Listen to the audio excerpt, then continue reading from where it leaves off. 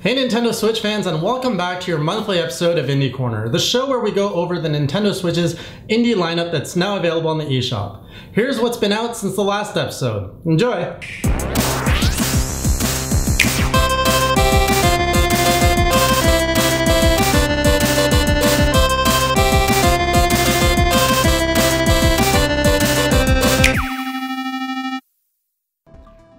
We have our first shoot 'em up on the Switch. Graceful Explosion Machine is a 2D stylistic shoot 'em up that gives you four types of weapons to chain combos in a crazy, colorful world.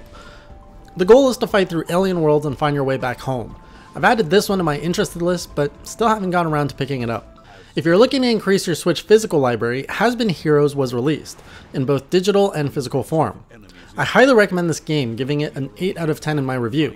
The game is a roguelike strategy action game that's sure to have you grinding your teeth. It's hard, but very rewarding, and as a fun piece of trivia, it was also developed by the same people behind the Trine series. If you're looking for more retro-styled gaming after finishing Shovel Knight or Blaster Master Zero, Kamiko is now available to pick up. The game touts itself as an arcade-like action game. The goal is to defeat all the enemies, solve the puzzles, and unlock the gates to move on to the next level. And of course there's bosses, so overall this looks like a nice package for just $5. Consider this one added to my wishlist as well. If you're looking for more fast-paced action, then I recommend Mr. Shifty. Imagine playing a game as Nightcrawler from the X-Men. That's basically Mr. Shifty. You teleport through walls, around enemies, punch people, throw things at them. It's pretty fun stuff. We had Eli review the game and he gave it a 6.5 due to frame rate drops. I personally played it on PC, so not sure how the performance is on Switch, but it's a fun game. Snake Pass was also released, which should appeal to the puzzle-loving gamer or perhaps even the 3D platforming fans of the N64 days. Snake Pass is a very unique game in which you play as a snake and need to find and pick up gems through multiple levels. As a bonus, David Wise is the composer of the soundtrack, the same guy who made all those classic Donkey Kong Country tunes, as well as hundreds of other classics. Fans of 1-2 Switch might find themselves looking for a new party game to bring at the next party now. Well, you might want to check out Jackbox Party Pack 3, the game has a pretty terrible name and a cheesy trailer, but it features several unique and fun looking games.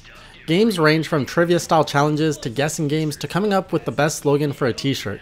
Lots of variety to be had here and it's easy enough for anyone to pick up and play. There's now Tumbleseed available on the eShop. Control a platform with a rolling seat on top and avoid enemies and holes. The game is controlled by using left and right joysticks to adjust the tilt of the platform. The game is a roguelike, uh, roller, I guess, so everything is randomly generated. There are villages to explore, quests to complete, and different abilities to be used. Much like Blaster Master, another classic got a revival in Wonder Boy The Dragon's Trap. This title is a remake of the classic Wonder Boy 3, which was originally released on the Sega Master System in 1989. The game plays like a 2D action game and has you searching for a cure to revert back to your normal form. The shape-shifting nature of the hero, however, does play into the gameplay, giving you 6 different mechanics for each shape they turn into.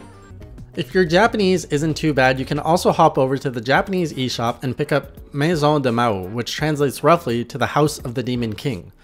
If my information is correct, the game is about a demon king purchasing some rundown housing so that he can live out his days as a slumlord. You fill the houses with monsters and have to fight off religious zealots and heroes bent on killing you because of their racist views of monsters. The game is set to play as part sim, part tower defense. Actually, it looks quite interesting, but I'll need an English version before picking this one up. And now onto our non-indie eShop exclusives. In Japan, we have Square Enix's Spelunker World. The game is a side-scrolling action game that you can play online with up to 6 people. It's a pretty straightforward game, but there's also an aspect of customization where players can collect different gear to customize their characters. Also in Japan, there's the board game Ginsei Shogi Kyutendo Tufu Raijin. I probably bastardized that pronunciation, but it's the best I can do. The game appears to be shogi, which is also known as Japanese chess. Not my cup of tea, but perhaps something you'd enjoy. And lastly, we had several new Neo Geo games released, including more 2D fighters such as The King of Fighters 94, Samurai Shodown 4, and Fatal Fury, all classic arcade style fighters. They also released the classic Shoot 'em Up Alpha Mission 2 and the 2D action game Metal Slug, all excellent choices if you want to blow stuff up. If you'd rather take it easy with some competitive games, there's also Neo Turf Masters, which is essentially a golf game, and the racing game Overtop. And thanks again for joining me on this month's episode of Indie Corner. It looks like I'll be doing these each month, so I'll see you guys next month. And until then, keep on playing indie.